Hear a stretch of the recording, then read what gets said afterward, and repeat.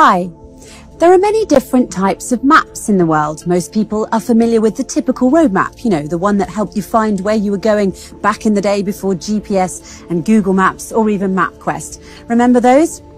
Few of us know that there are also political maps, economic maps, climate maps, and even a map depicting every country England has ever invaded. Oh yes, and spoiler alert, there were a lot of them.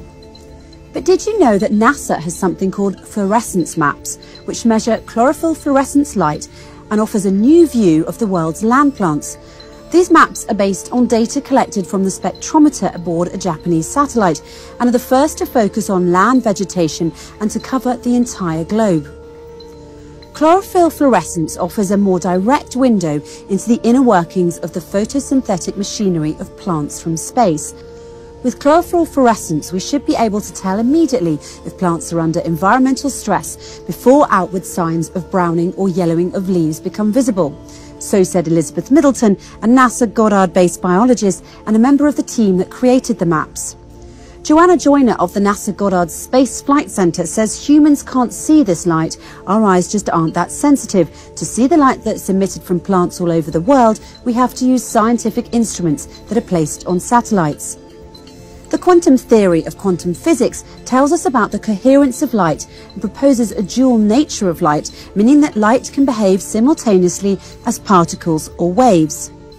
Light gives plants the energy they need to grow, but what happens if plants receive too much light?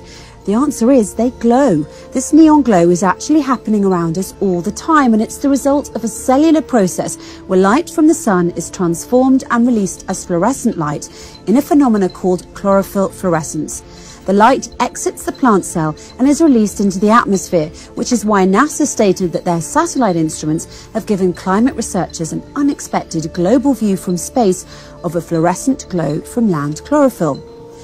But would you believe me if I told you that that bottle of olive oil on your kitchen counter also gives off a fluorescent glow that can be seen in space in much the same way as planet Earth glows?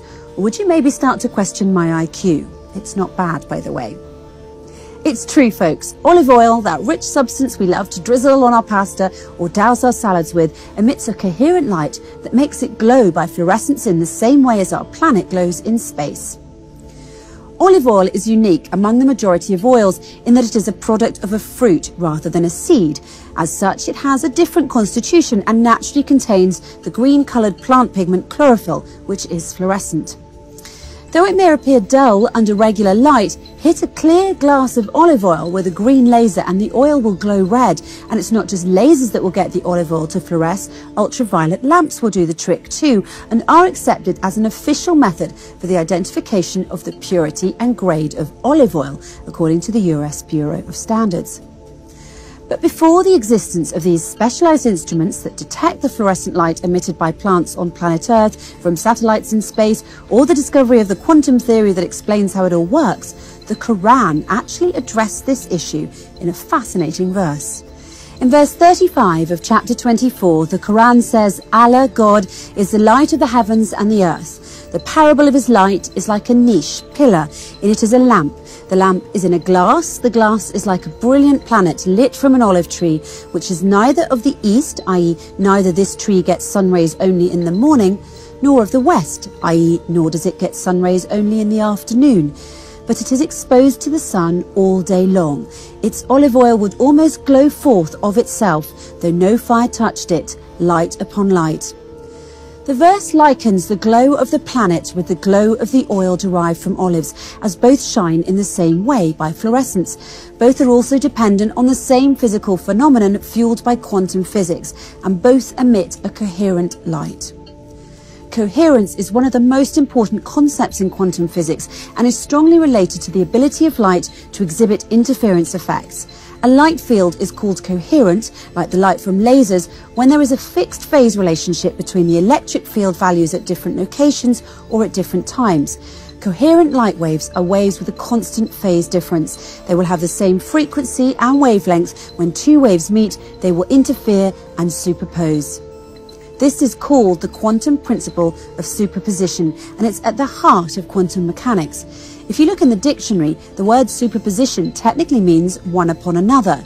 So when God says light upon light in the verse I mentioned just now, he's referring to superposition of light waves, one upon another. The fact that the Quran states that olive oil glows is in and of itself a miracle, as lasers and ultraviolet lamps now used to detect such a glow did not exist back then in any way, shape or form.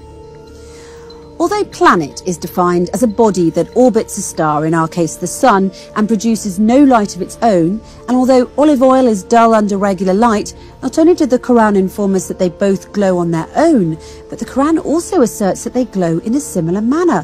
What's more, the Quran refers to it as light upon light, long before the existence of the quantum theory of coherence, which now confirms the superposition of light waves.